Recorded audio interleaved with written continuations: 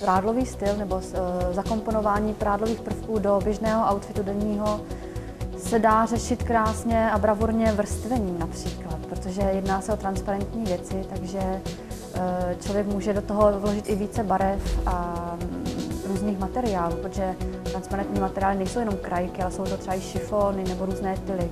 Tak tady ty prádlové prvky bych stylovala eh, na běžné nošení s věcmi, které vlastně jsou z podobných materiálů, nebo spíše z jemných materiálů. Určitě bych nešla do nějakých jako džínovin nebo tuhých látek.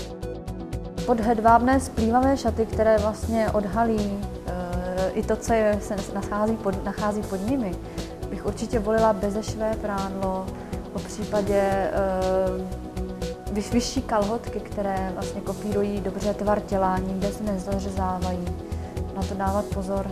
Eh, podprsenka taky by neměla, měla by držet, ale neměla by eh, vytvářet eh, nebo aby tohle všechno jde vlastně vidět.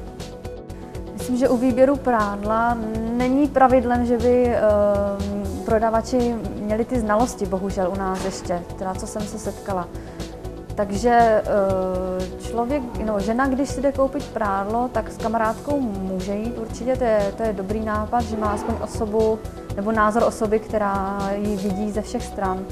Ale osobně si myslím, že nejlepší je, když se jde s mužem, který vlastně pro něho to prádlo je určeno. Ten, ten řekne bez obalu, jestli se mu to líbí nebo ne. Kamarádky většinou jsou k nám až příliš schovývavé, takže tak bych to asi dělala.